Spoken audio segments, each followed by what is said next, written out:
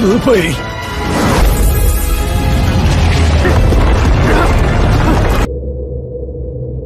爹，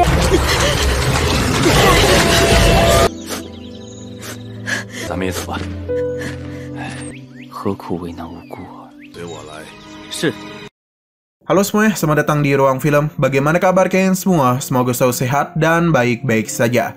Pada hari ini kita akan membahas Donghua yang berjudul Jet Dynasty episode 1 sampai 2. Sedikit sinopsis, Donghua ini bercerita tentang seorang bocil bernama Zhang Xiaofan yang menjadi yatim piatu dalam waktu hanya satu malam saja. Ia diterima sebagai murid sekte Xingyuan. Setelah lima tahun berkultivasi dengan keras, ia unggul dalam turnamen 7 meridian dari murid lainnya dan dikirim ke Gunung Kongsan untuk memata-matai pergerakan sekte setan. Selama perjalanan, dia dan sesama murid Tusengki menghadapi bahaya dan menyelamatkan serta berteman dengan pembudaya iblis Biao. Namun bahaya baru akan menunggunya di masa depan nanti. Scene dimulai dan memperlihatkan seorang bocil bernama Zhang Xiaofan yang sedang berlatih dan menggunakan sebuah pedang kayu menghadapi sahabatnya yang bernama Lin Jingyu karena Xiaofan belum pernah sekalipun menang hingga untuk ke-97 kalinya membuatnya terus berambisi untuk berusaha mengalahkan Jingyu di pertarungan ke-98 kali ini. Pertarungan mereka malah membuat para penduduk desa terganggu. Xiaofan secara tak sengaja menghancurkan barang-barang yang ada di desa tersebut yang membuat Bibi Zhang menjadi sangat kesal terhadapnya. Tak hanya itu, Xiaofan juga tak sengaja menabrak Paman Wang yang sedang membawa persediaan air. Setelah itu, Xiaofan terus saja mengejar Jingyu yang berlari sampai ke sebuah kuil biksu. Sampai di sana, mereka berdua kembali bertarung. Xiaofan menjadi sangat kesal karena dirinya tak mau dianggap kalah begitu saja pada pertarungan ke-98-nya. Ia pun sempat membuat pedang Jingyu terlempar. Akibatnya, Jingyu tak terima dengan pelakuan Xiaofan barusan membuatnya menjadi tak terkendali. Ia terus memojokkan Xiaofan hingga mencekiknya dengan pedang kayunya.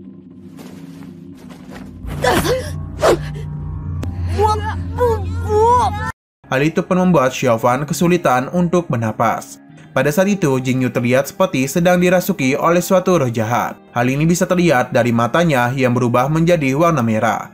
Untung saja kedatangan seorang biksu bernama Pusi yang langsung menghentikan Jingyu, membuatnya kembali tersadar dan Xiaofan menjadi terselamatkan. Entah apa yang dimaksud oleh biksu Fuji. Akan tetapi dia mengatakan kalau Xiaofan memiliki kemampuan yang dapat mengendalikan musuh dan memiliki tulang akar yang bagus.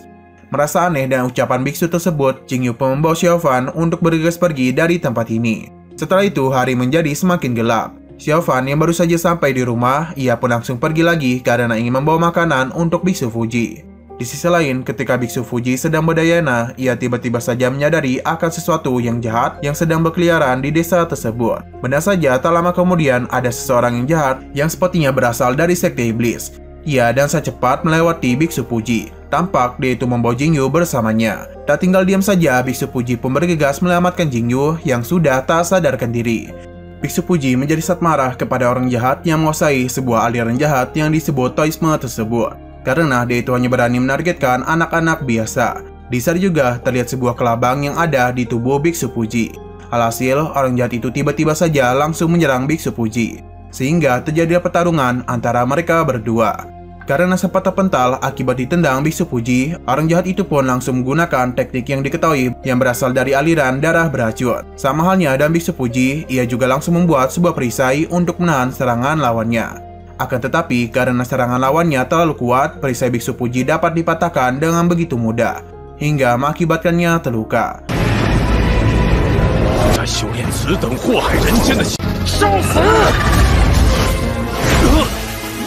Di waktu yang sama, Biksu Puji melihat sebuah kelabang di tangannya. Ia pun mulai menyadari kalau sebenarnya orang jahat itu bukan menargetkan anak-anak, melainkan menargetkan dirinya sendiri. Sudah itu, orang jahat itu kembali menyerang Biksu Puji sampai membuatnya terpental. Diketahui kalau orang jahat itu menargetkan Biksu Puji karena ingin mengambil sebuah benda yang jahat yang ada pada Biksu Puji. Sebab Biksu Puji tak ingin memberikannya, orang jahat itu pun langsung membangkitkan kekuatan Raja Mayat darah beracun berupa Susanoo. Biksu Puji segera menggunakan sebuah teknik mantra enam karakter bijak berupa jurus tapak Buddha. Alhasil, tapak Buddha Biksu Puji berhasil mematahkan serangan Raja Mayat darah racun.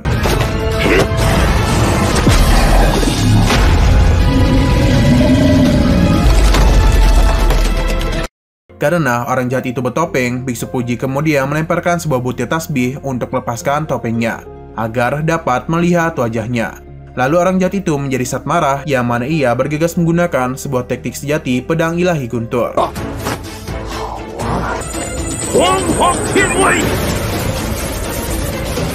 Di saat yang bersamaan, melihat teknik itu, Biksu Puji mulai menyadari kalau lawannya berasal dari Sekte Shingon. Lantas, Biksu Puji pun segera mengeluarkan sebuah perisai besar yang disebut dengan kebijaksanaan Brahma, yang mana perisai itu dapat menahan teknik sejati pedang ilahi guntur. Efek dari adu kekuatan itu membuat angin bertiup kencang, serta membuat Xiaofan yang berada di sekitar sana menjadi terpental.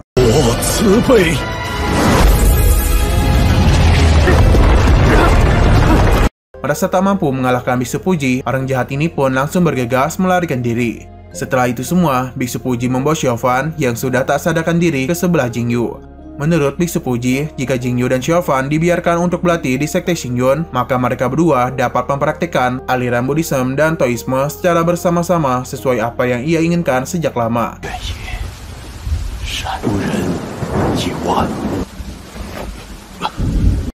Akibat pertarungan barusan, Biksu Puji harus meminum pil penunda kematian yang ia ambil dari temannya bernama Gui. Hal itu dilakukan untuk memperpanjang umurnya. Kemudian Biksu Fuji langsung menyembuhkan Xiaofan yang terkena efek dari pertarungannya tadi. Iya,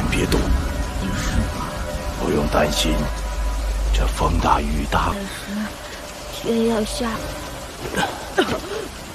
Selesai penyembuhan, Biksu Fuji menawarkan Xiaofan sebuah metode latihan. Akan tetapi, Xiaofan harus berjanji bahwa ia tak boleh memberitahu siapa pun tentang latihan itu. Setelah itu, Xiaofan juga diharuskan untuk berlatih setiap hari, yang mana latihannya harus sembunyi-sembunyi pada saat tengah malam.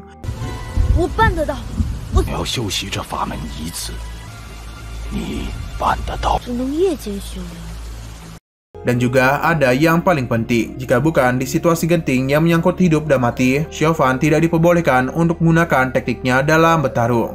Tanpa pikir panjang, Xiaofan langsung bersedia untuk mengikuti persyaratannya. Biksu Fuji memberitahu jika suatu saat hidup Xiaofan dalam bahaya, maka ia disuruh untuk menemui Gui.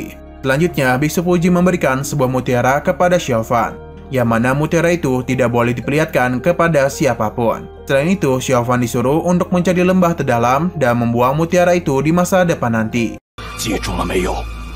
还不起，是，相见。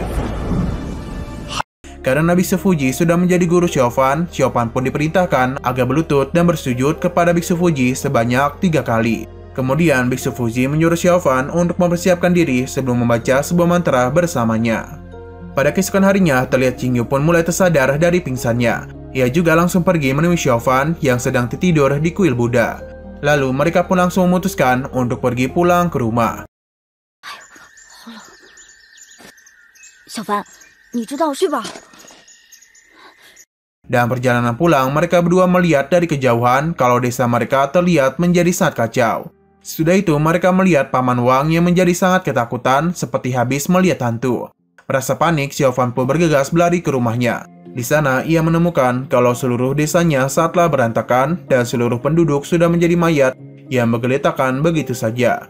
Sampai di rumah, Xiaofan menjadi sangat amat terkejut dan menjadi histeris ketakutan. Singkat waktu, Xiaofan mengalami mimpi buruk yang mana ia terlihat berlari ketakutan karena dikejar oleh beberapa hantu. 爹，Selepas terbangun, ia sudah di tempat yang berbeda. Meskipun sudah mengetahui kalau orang tuanya sudah tiada, ia terus saja berusaha memanggil dan mencari mereka. Di depan rumahnya, tapak Jingyu yang juga sangat sedih karena sudah tidak ada satupun yang tersisa di desanya. Kemudian sambil menangis, Jingyu pun memeluk Xiaofan untuk menenangkannya. Yang mana dia itu masih tak dapat menerima kenyataan.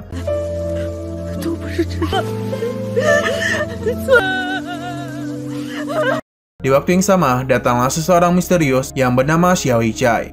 Beberapa saat kemudian, Xiao Yichai membawa mereka ke Sekte Xingyun atas perintah gurunya. Tak lama kemudian, tiba-tiba muncul seekor naga besar bernama Lingjun yang tampak emosi karena kedatangan Jingyu dan Xiaofan. Lantas, Xiao Yichai langsung mencoba menenangkan Ling Jun. Ia mengatakan kalau Jingyu dan Xiaofan ada tamu yang secara khusus dipanggil oleh ketua sekte.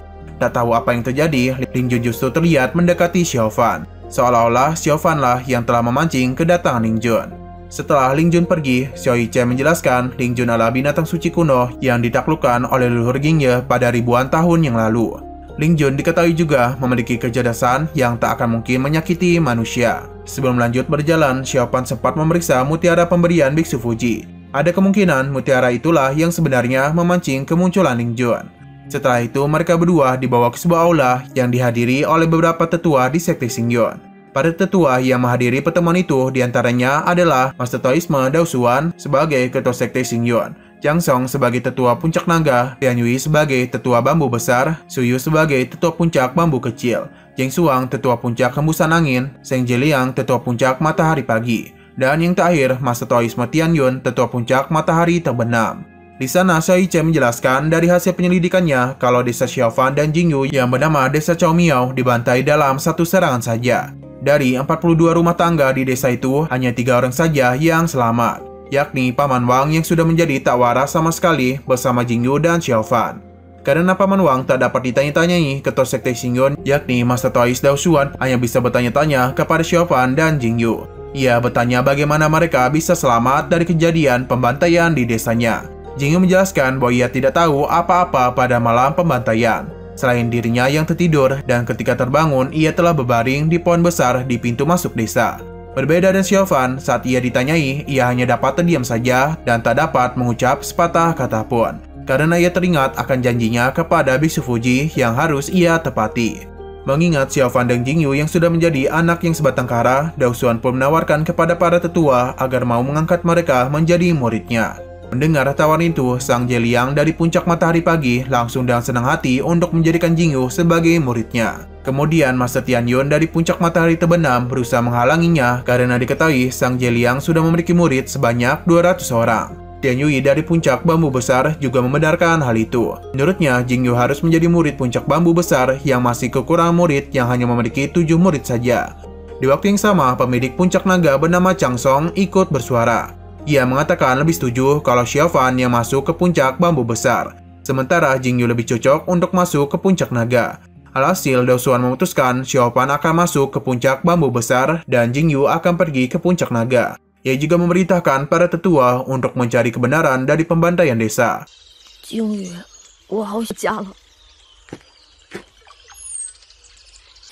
Sesudah itu, Jingyu pun dijemput oleh Chang Song untuk pergi ke puncak naga. Sama halnya dengan Xiaofan, ia juga dijemput oleh seorang senior dari puncak bambu besar bernama Song Daren. Sebelum berpisah, Jingyu memutuskan untuk memeluk sahabatnya terlebih dahulu.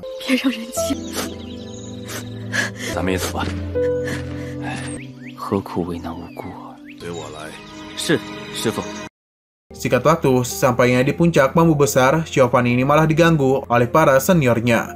得了吧，你像他，哎，小师弟，你练哦，还给我！ Di saat yang bersamaan, datanglah seorang gadis kecil yang menyelamatkan Xiaofan dari kejahilan kakak-kakak seniornya yang dipanggil Ling, yang merupakan anak dari pemilik puncak bambu besar. Setelah itu, Song Dare memperkenalkan Xiaofan kepada kakak-kakak seniornya yang bernama Jing Dali, Ludasin, Heidazi, Hudayi, dan yang terakhir adalah Dubisu. Selesai berkenalan, Xiaofan kemudian memberikan sebuah penghormatan kepada Tian Yu dan istrinya, dan memberikan sebuah minuman teh kepada mereka berdua. 师娘，Sudah memberikan hormat, mereka semua melanjutkannya dengan acara makan bersama. Ketika sedang makan, Tian Yui memerintahkan Song Daren agar menjaga dan melatih Xiaofan untuk ke depannya.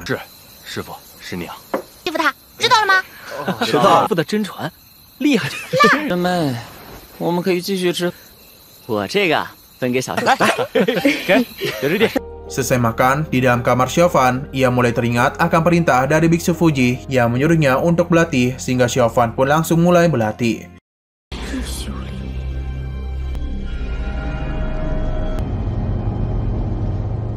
Keesokan harinya, pas Xiaofan baru bangun dari tidurnya, Ling nampak membawa seekor anjing lucu bernama Dahuang.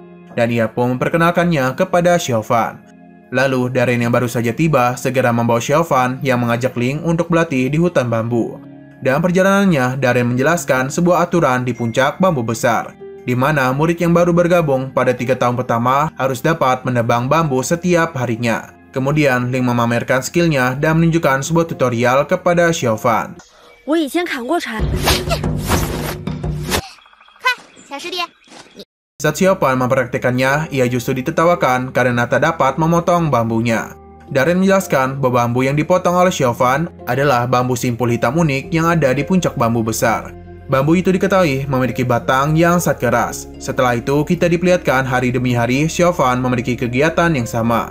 Selepas bangun tidurnya, yakni terus berlatih bersama Song Darren dan juga Ling. Hal itu terus ia lakukan hingga ia menjadi seorang remaja. Tampak ia menjadi semakin lihai dalam memotong bambunya.